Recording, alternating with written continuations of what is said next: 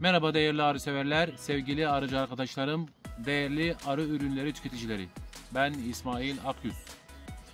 Uzun yıllardan beri propolis ile ilgili yerli ve yabancı kaynaklardan kendi arge çalışmalarım kendi arge çalışmalarımla beraber nasıl daha iyi bir şekilde üretip tüketebiliriz şeklinde bayağı araştırmalar yaptım. En son ulaştığım tüketim şekli gerçekten mutluluk verici oldu. Bunun da sebebini kısa bir şekilde size özetleyeyim.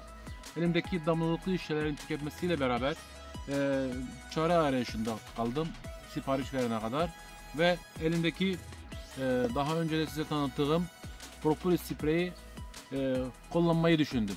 Kullandıktan sonra elde ettiğim sonuç o kadar güzel ki son bir aydır artık e, propolis sprey evimizdeki su içme, su sebilinin üzerinde sürekli bu şekilde kalarak daha fazla tüketim e, seçeneği sağladı.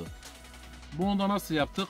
Bununla ilgili biraz detaylı bir e, açıklama yapayım. Daha önceki videoları izlemeyen arkadaşlar için. Hızlı bir şekilde sizlerle paylaşayım.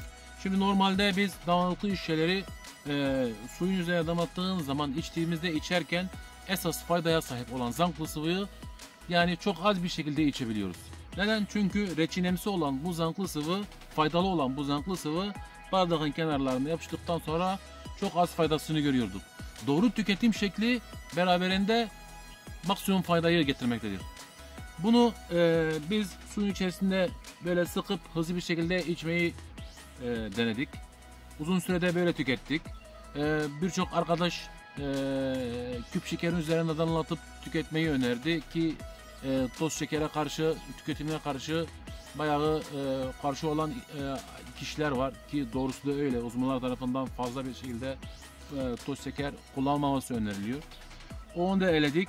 E, kuru ekmeğe, yoğurda bu- buna benzer bir sürü argeler yaptık. Bu bir sürü farklı şekilde tükettik. Ama artık damlalıklı şişeler tarih oldu arkadaşlar. Size de şu an göstereceğim.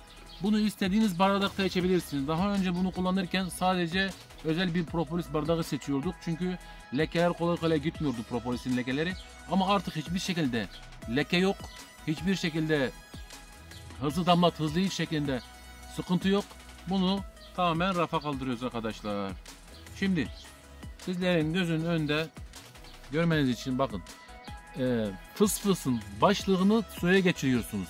Fıs fısın ucundan çıkan çok küçük e, parçalar öyle söyleyeyim öyle ifade edeyim çok küçük parçalar çıktığı için e, suda kenetlenme olmuyor. Kendi içlerinde dağılıyorlar.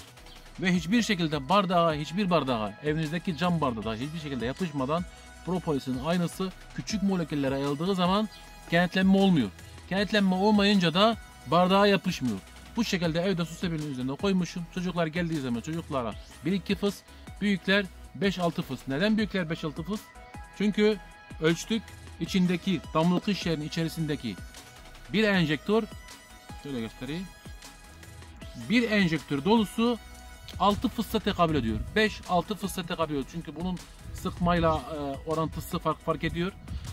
5 fıs tamam bir enjektör. Yani yetişkinler günde bir enjektör içebilir.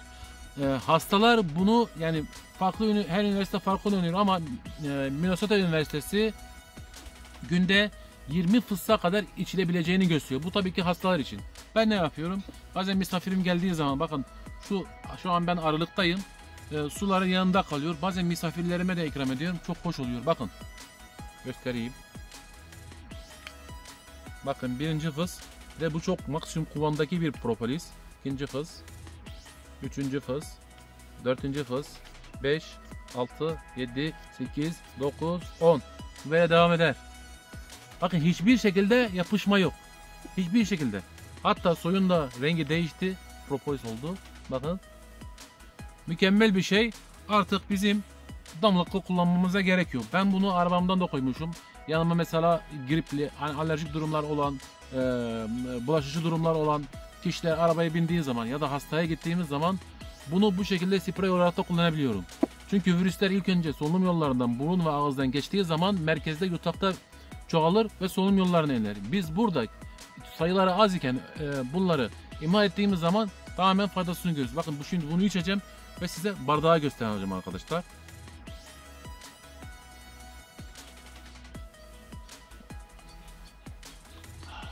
mükemmel. Gerçekten çok mutluluk verici.